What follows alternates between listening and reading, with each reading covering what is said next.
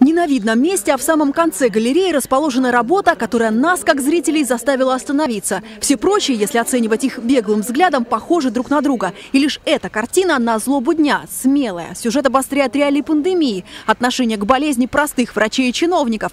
Кураторы галереи отметили для себя этого автора и уже предложили ему персональную выставку. Недостаточно сделать работу яркими цветами. Она может привлечь внимание глаза, но не привлечь совершенно внимание зрителя.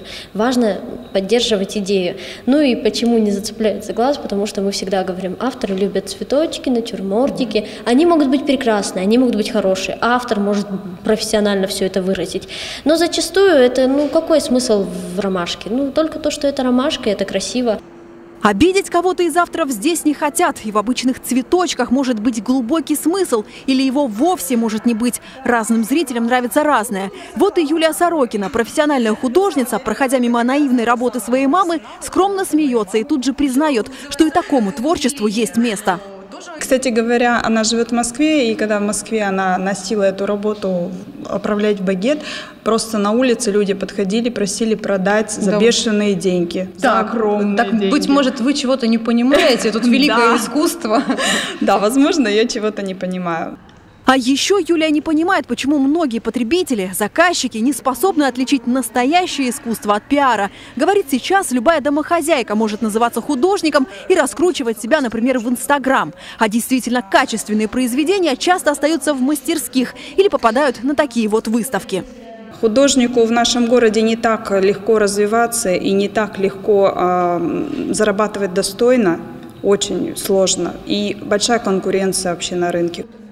Надежда Рохлина конкуренции пока не боится. Во всяком случае, сейчас свои картины, как правило, не продает. Копит, готовится к персональной выставке. На этой коллективной чувствует себя немного не на месте в прямом смысле. Вот эти три работы это и «Гордый рыцарь» – единая композиция, но висят они в разных залах. Так решил куратор галереи. Что любопытно, все картины написаны, основываясь на науке цветоведения. Надежда использовала ограниченную палитру красок.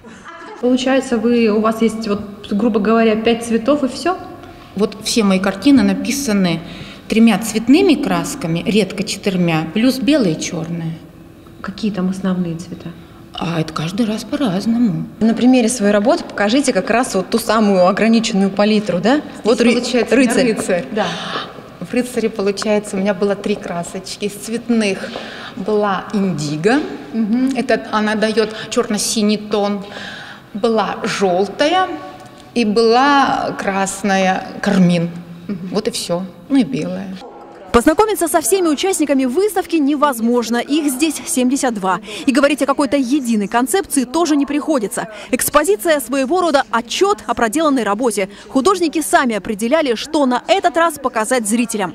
Оценивая общее радужное настроение, понимаешь, авторы устали от негатива, серости жизни и решили, что называется, не заморачиваться на сложные сюжеты и социально-политические темы. Просто продемонстрировали свое внутреннее «я». Ну, как вы уже поняли, на выставке представлены только картины, и лишь один автор предоставил свои скульптурные композиции. Вот, например, называется «Спящий». А, суть ее в чем? Когда мы с вами спим, кто-то внутри нас пытается вырваться наружу. Я настоящий, я честный, я искренний. И, к сожалению, не у всех это получается. А вот у авторов этой экспозиции вырваться наружу получилось. Эта выставка будет работать в галерее «Республика ИЗО» до 14 марта марта. Елена Кузовкина, Алексей Фризин. День с толком.